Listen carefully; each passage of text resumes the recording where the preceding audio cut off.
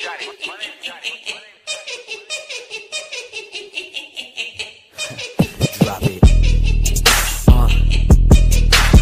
Welcome back, guys. We're back. Well,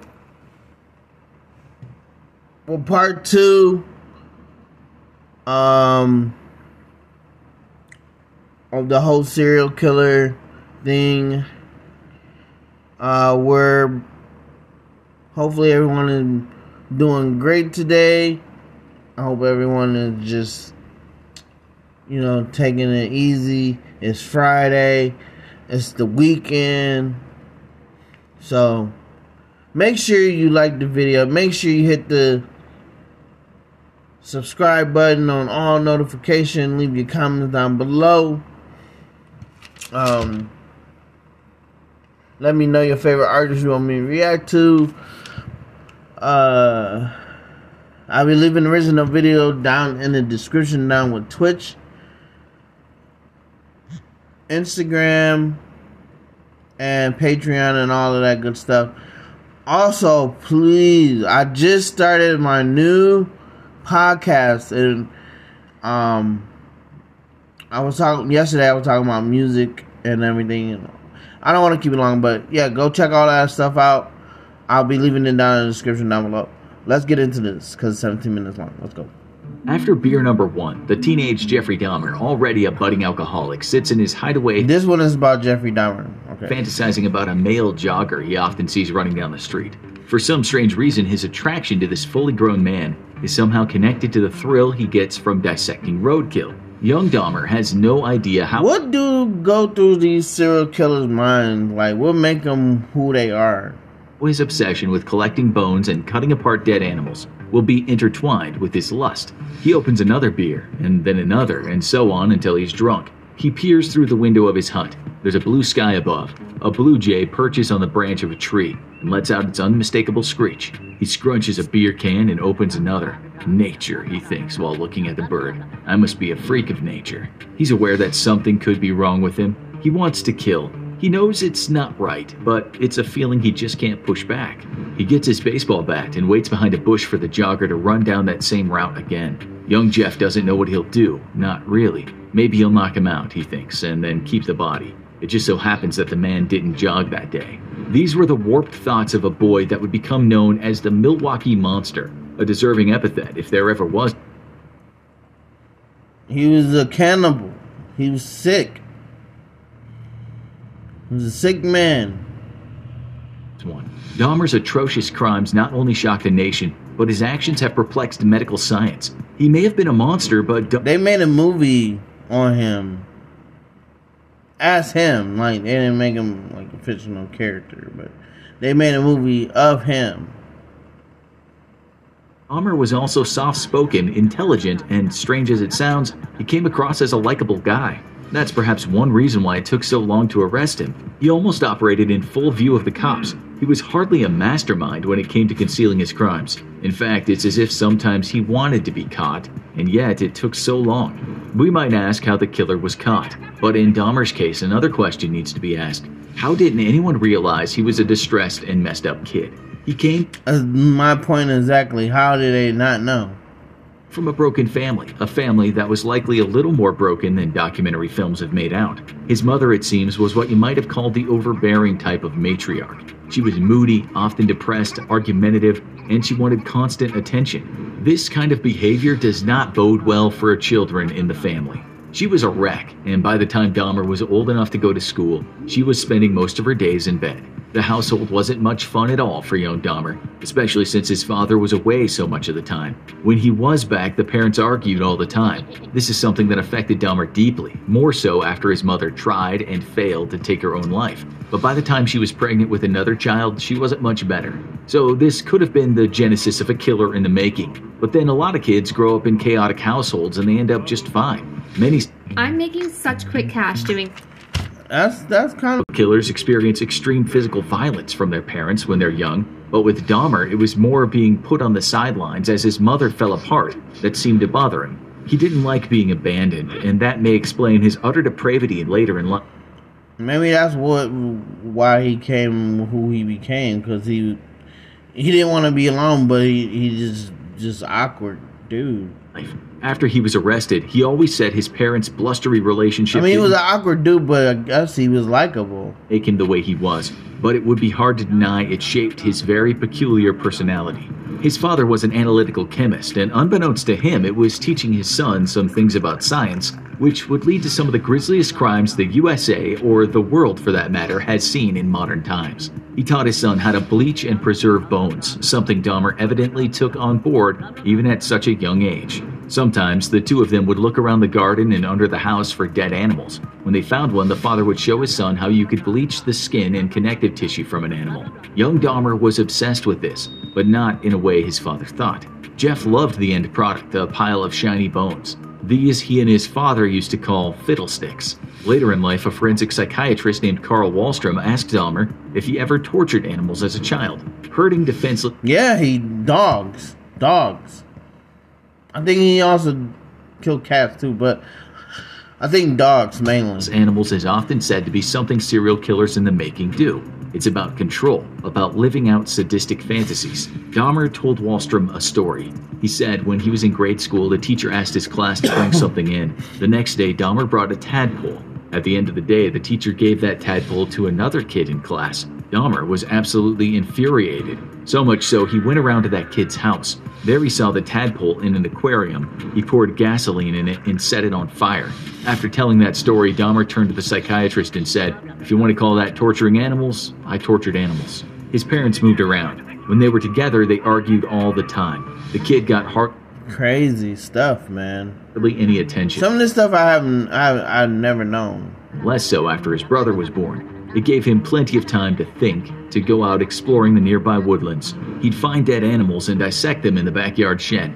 Once, he even impaled a dog's head on a stick and stuck it in the forest near his house. We won't get into everything here, but as his father later admitted, there were signs that weren't seen. Dahmer was quiet, sometimes moody.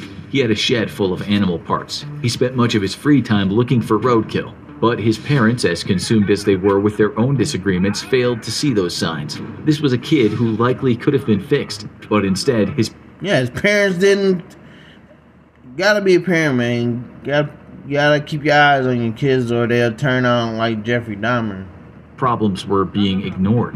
In 1978, just a few weeks after he graduated high school, he took his first life. He was living alone at this point in his parents' old house. He picked up a hitchhiker named Stephen Hicks, just a young man himself at 18. The two went back to Dahmer's place to drink some beer. Dahmer later said that he found his new friend attractive, but when the conversation turned to attractive girls and how to meet them, he became aware that there'd be no love for him. For a few years, he'd known he was gay. When they were both drunk and the other guy said he wanted to leave, Dahmer went over to a set of weights. He picked up a large dumbbell, walked over to the guy who was sitting in a chair with his back to him, and he whacked him over the head. He subsequently strangled him, stripped him, used his body for sexual gratification, and like the dead animals he'd been so obsessed with, dissected him. Dahmer buried the body. Crazy, right? He was just one messed up individual. but a few weeks later he dug it up. He then methodically stripped the bones of their flesh and dissolved what he could in acid. The solution that was left over he flushed down the toilet. As for the bones that were left, he crushed them with a sledgehammer and then threw the fragments around in a nearby forest. After the murder, he tried his hand at higher education, but his persistent drinking wasn't exactly conducive to attaining good grades. He soon dropped out and joined the United States Army just prior to his 19th birthday. We won't go into everything that happened in the army, but it's reported that he drugged and molested soldiers while stationed in Germany. This is something that became known much later. His drinking habits never really diminished, and by the time he was just shy of 22, he was discharged from the army.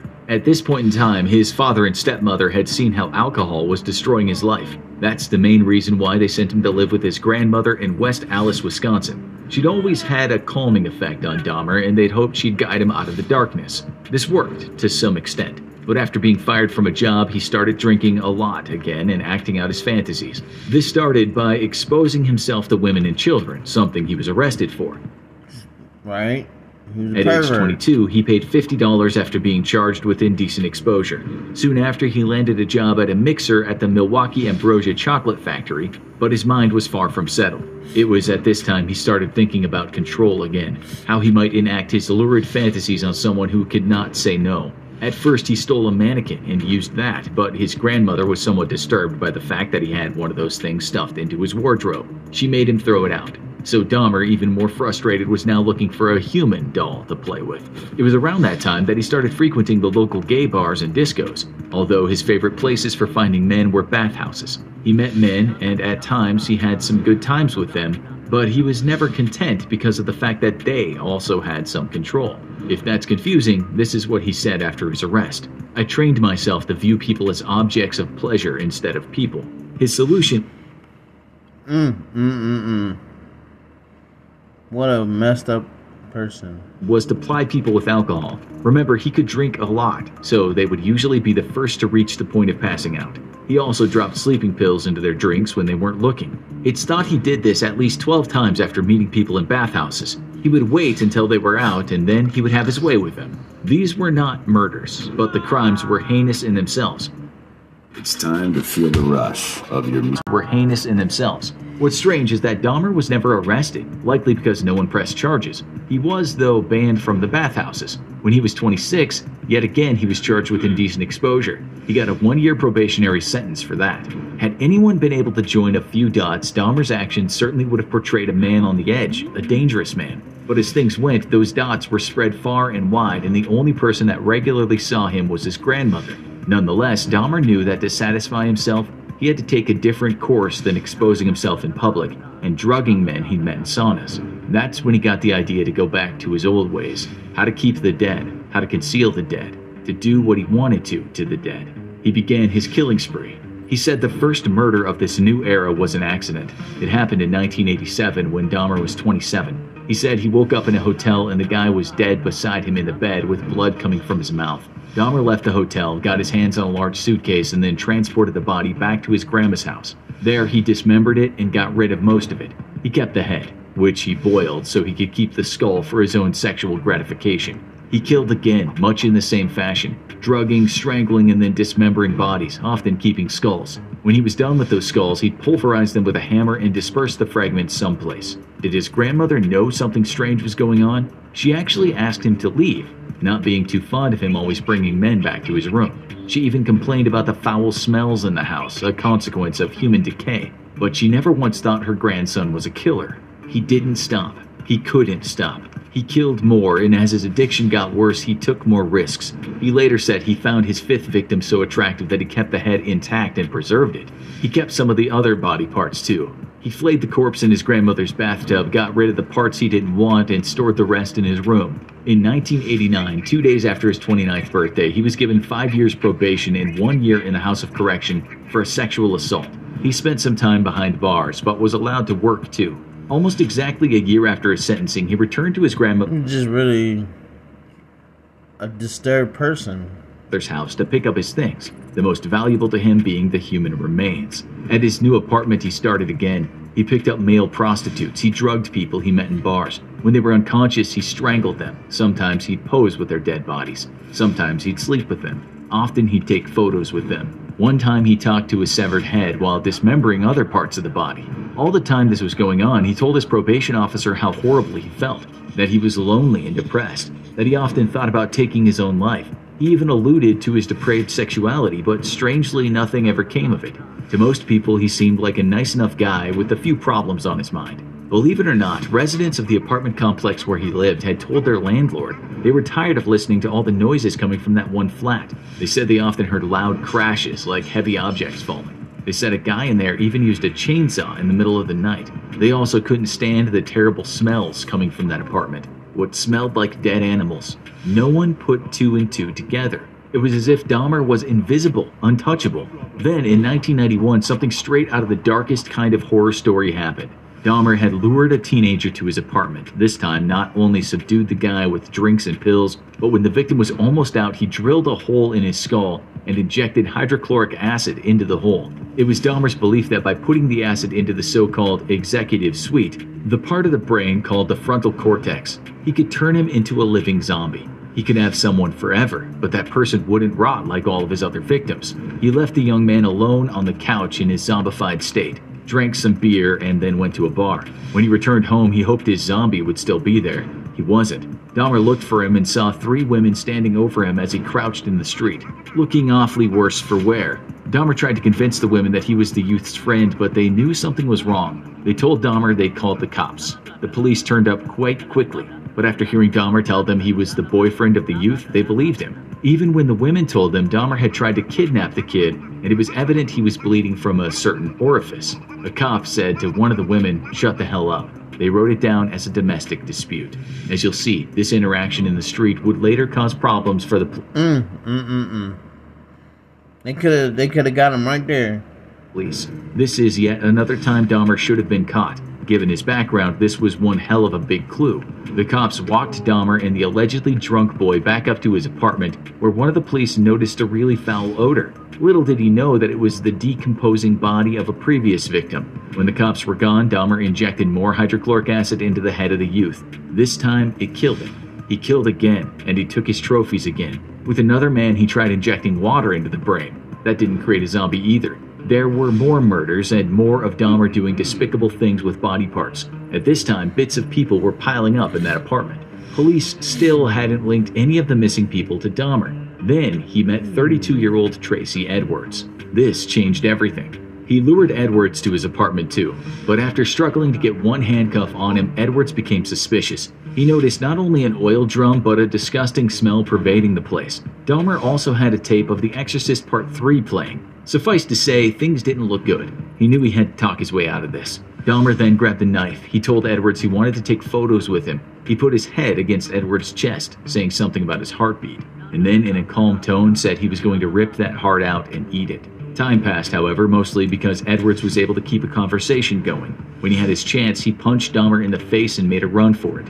Out on the street, naked, almost hysterical, he jumped in front of a police car. Shouting at the cops, he said a crazed man had threatened to kill him. He showed them the handcuff still attached to one of his hands. He told them he'd been captive for five hours. This time, the cops took it seriously. They had no idea, they couldn't have any idea, of what they were about to find. First was a knife. Then one of them opened a drawer and pulled out some photographs. He almost fell back in shock. They were pictures of bodies, some dismembered, lying in certain poses. The cop went over to his partner and said, These are for real. They then wrestled Dahmer to the floor, whereupon Dahmer managed to squeeze out the words, For what I did, I should be dead.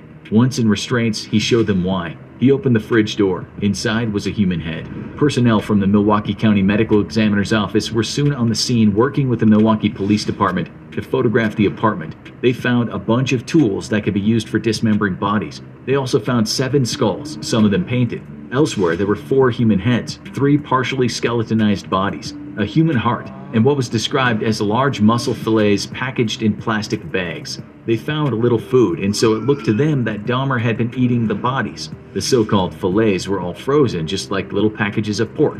So there were the body parts. There were the drugs he used to sedate people. There were the photos, and there were the tools Dahmer had.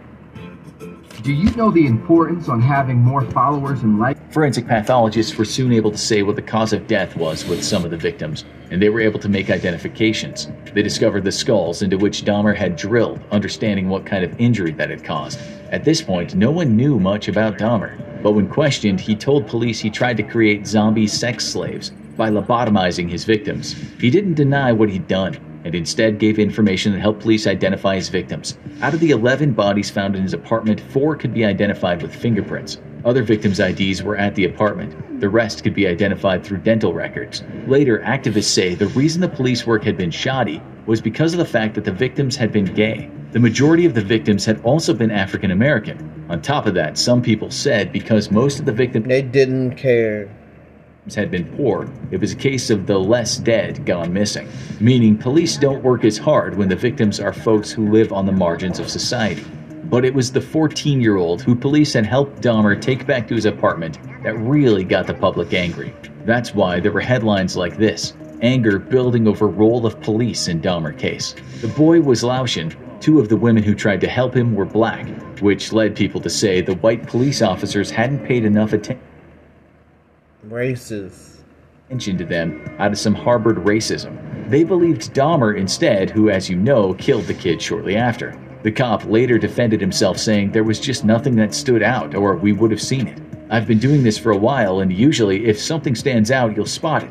There just wasn't anything there. On February 15, 1992, Dahmer was sentenced to 15 consecutive life terms in prison. Another life sentence was later added on. In total, he killed 17 people.